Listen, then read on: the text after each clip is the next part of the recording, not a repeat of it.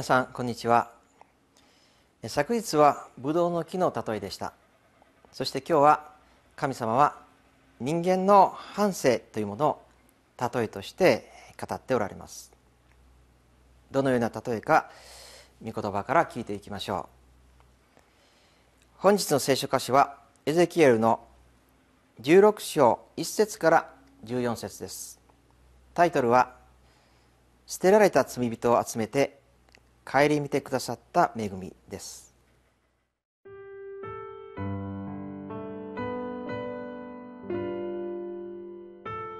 エゼキエル書16章1節から14節ついで私に次のような主の言葉があった。人の子よ、エルサレムにその意味嫌うべき技をよく知らせて言え。神である主はエルサレムについてこう仰せられる。あなたの怒りとあなたの生まれはカナン人の地である。あなたの父はエモリ人。あなたの母はヘテ人であった。あなたの生まれはあなたが生まれた日にへその尾を切るものもなく、水で洗って清めるものもなく、塩でこするものもなく、布で包んでくれる者もいなかった。誰もあなたを惜しまず、これらのことの一つでもあなたにしてやって、あなたに憐れみをかけようともしなかった。あなたの生まれた日に、あなたは嫌われて野原に捨てられた。私があなたのそばを通りかかったとき、あなたが自分の血の中でもがいているのを見て、血に染まっているあなたに、生きよと言い、血に染まっているあなたに、繰り返して生きよと言った。私はあなたを野原の新芽のように育て上げた。あなたは成長して大きくなり、十分に円熟して、乳房は膨らみ、髪も伸びた。しかし、あなたは丸裸であった。私があなたのそばを通りかかってあなたを見ると、ちょうどあなたの年頃は恋をする時期になっていた。私は衣の裾をあなたの上に広げ、あなたの裸を覆い、私はあなたに誓って、あなたとちぎりを結んだ。神である主の蜜げ。そしてあなたは私のものとなった。それで私はあなたを水で洗い、あなたの血を洗い落とし、あなたに油を塗った。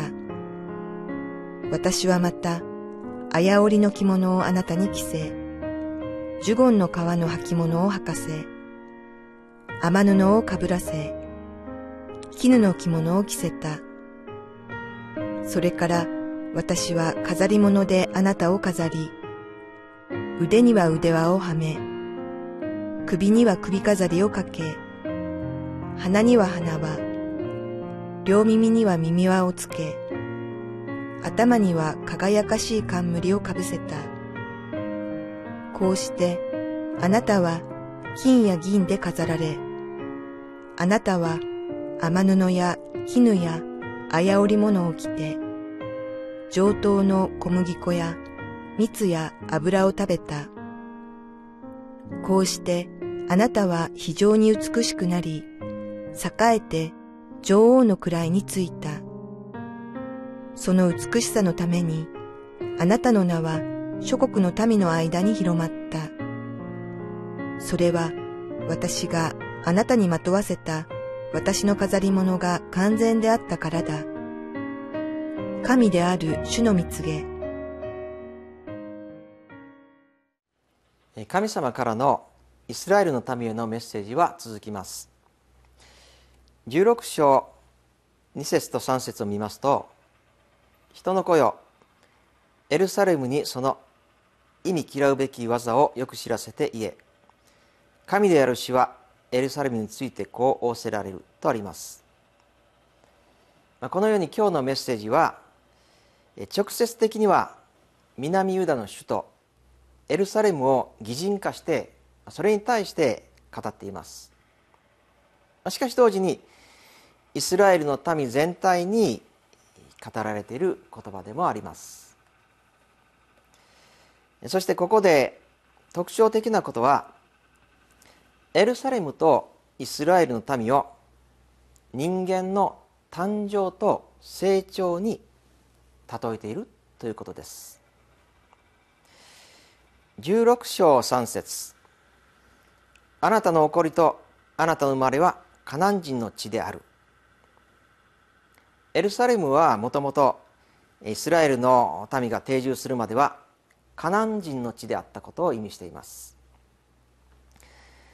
続いて16章4節。あなたの生まれはあなたが生まれた日にへその緒を切るものもなく水で洗って清めるものもなく塩でこするものもなく布で包んでくれる者もいなかった。このイスラエルの民を生まれたばかりの赤ちゃんに例えているのです。もし生まれたての赤ちゃんが誰にも世話をされず放っておかれたら一体どうなるでしょうか。捨てられた人間の赤ちゃんほど無力で惨めなものはありません。このまま放っておかれたらこの赤ちゃんは間もなく死んでしまうはずです。そしてイスラエルの民はこの赤ちゃんのような状態であったというのです。しかしそんな赤ちゃんを助け上げてくれた人がいます。16章の6節。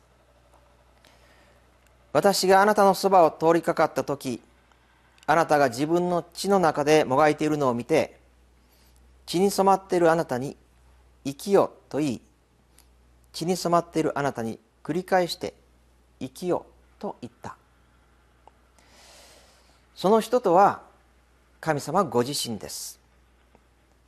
放っておかれたら滅びてしまう民を顧みて生きることができるようにしてくださったのは神様なのです。その後神様はこの赤ちゃんを手塩にかけて育てられます。16章7節。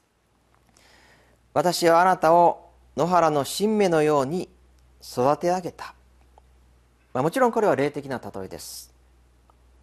しかし人がその赤ちゃんを愛して育てるように神様はイスラエルの民を愛しておられたことを表しているのです。そしてこの霊的例えによりますとこの赤ちゃんというのは女の子でありやがて成長していくのです。そして神様はこのイスラエルと結婚関係を結ばれます。神様はある時をイスラエルをまるで自分の子供のように育てまたある時は自分の花嫁として迎えているのです。これは神様の最大限の祝福を表しているのです。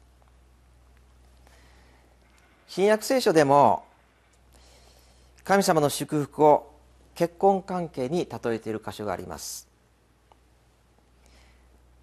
エペソの5章の3132節。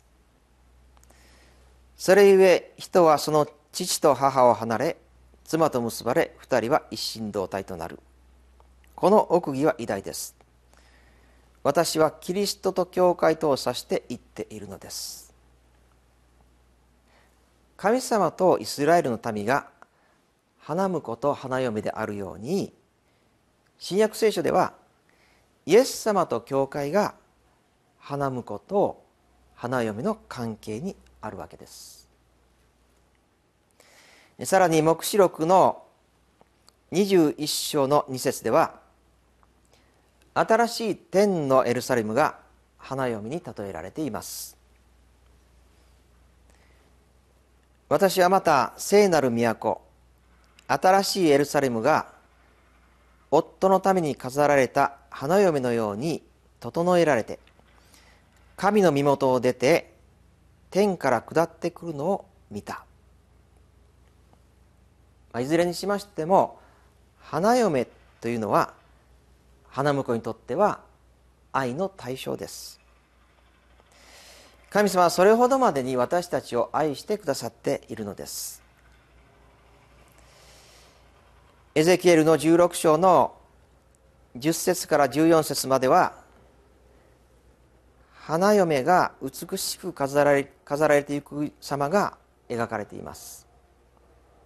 そして16章の13節後半ではこのようにあります。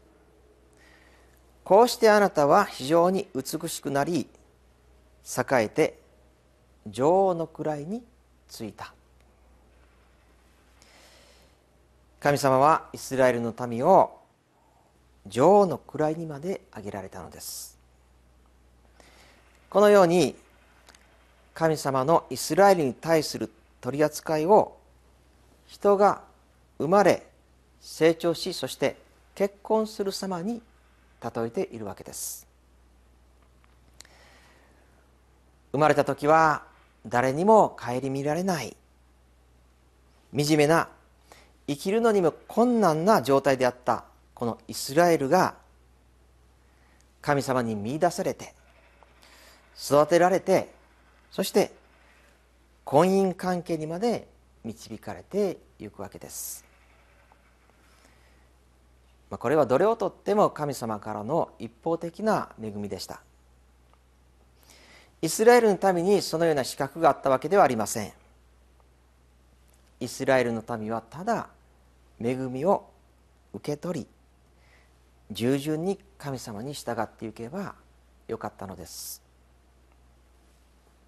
しかし人間は成長とともにいろんなところを通らされます。いつまでも若い時の純真なままでいられないというのもまた人間の特徴ではないでしょうか。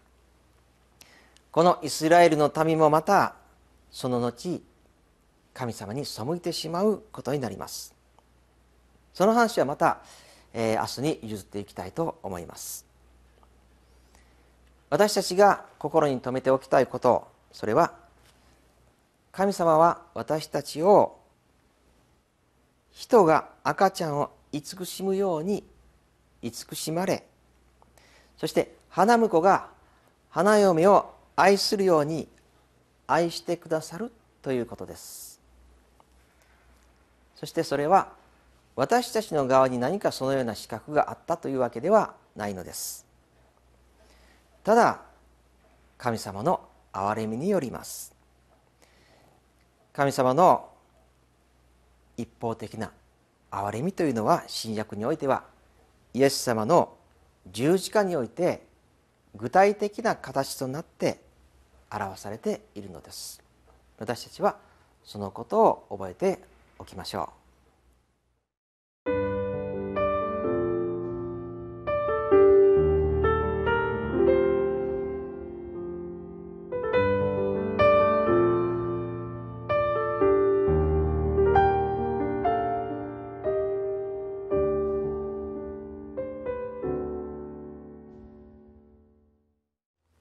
私たちはただ一方的な神様の憐れみによって生かされているのです。お祈りいたします。愛する天皇お父様感謝します。あなたは誰も顧みない生まれたての赤ちゃんのようなものを顧み育て慈しみ成長させてくださいました。私たちもかつてそうでした。何も自分に資格のないようなものを見出してくださりそして愛して育ててくださいました。どうか私たちがその愛からそれることがないように自分勝手な道に歩むことはないようにいつもあなたの一方的な憐れみを思い出しそれを自分の原点としていることができるように導いてください。どうぞお一人お一人の人生が主にあってまっすぐなものとされていきますように。主イエス・キリストの皆によって感謝してお祈りいたします。アーメン。